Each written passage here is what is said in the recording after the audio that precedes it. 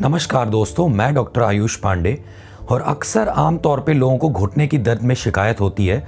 Generally वैसे तो ये 45-50 साल के बाद देखा जाता है बट आजकल यंग जनरेशन और कम एज के लोगों में भी ये समस्या बहुत ज़्यादा पाई जा रही है।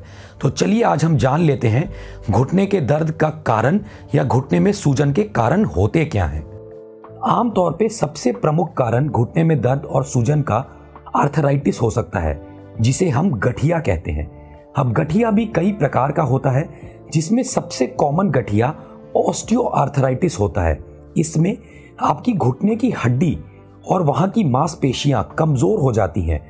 उम्र के साथ हड्डियाँ घिसने लगती हैं, मांसपेशियाँ ढीली पड़ जाती हैं, लचीली पड़ जाती हैं, जिसकी वजह से वहाँ पे जलन यानी इन्फ्लेमेशन इन्फेक्शन होने लगता है। और उसके बाद ही हड्डियाँ जो हैं, दो हड्डियाँ आपस में घिसने लगती हैं, ऊपर के पैर की हड्डी और नीचे की पैर की हड्डी, जो जलन का भी काम करता है और इस बीमारी को बढ़ाता भी है। तो सही समय पे सही इलाज से इसे रोका जा सकता है। दूसरा गठिया रोमोटॉइड आर्थराइटिस का होता है इसमें ये एक ऑटो इम्यून बीमारी है, जिसमें आपके शरीर के सेल्स खुद ही खाना शुरू कर देते हैं। यानी आपके घुटने के अंदर जो भी सेल्स हैं, वो आपके घुटने के अगेंस्ट ही काम करने लगते हैं। आम तौर पे कोई भी इन्फेक्शन अगर आपके शरीर के अंदर प्रवेश करता है तो आपके सेल्स का काम होता है उससे लड़ना और उसके लिए एंटीबॉडी बनाना। लेकिन रोमेटिक डिसऑर्डर में या रोमेटॉइड बीमारी में सेल्स उनको नहीं पहचान पाती है और खुद ही खाना शुरू कर देती है, जिसकी वजह से वहाँ की मांसपेशियाँ और हड्डियाँ गलने लगती हैं और गठिया होता है।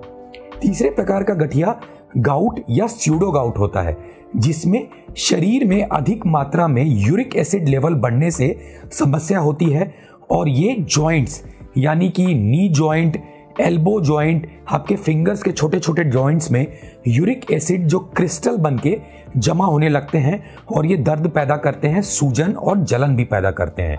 तो ये कुछ प्रकार के आर्थराइटिस हैं जो सबसे प्रमुख कारण है जोड़ों में दर्द का भी और किसी भी प्रकार के घुटने में दर्द का। दूसरा सबसे प्रमुख कारण है मोटापा। ओवरवेट सबसे बड़ा कारण है घुटने के दर्द का। यदि आपका वज़न सामान्य से बहुत ज़्यादा अधिक है तो भी ये घुटने में दर्द का कारण हो सकता है।